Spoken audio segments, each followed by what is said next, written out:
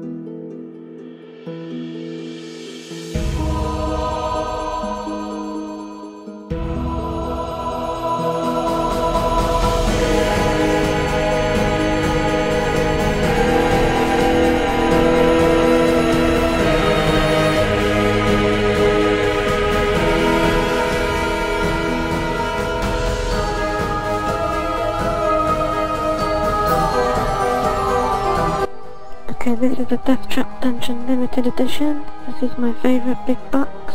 Enjoy.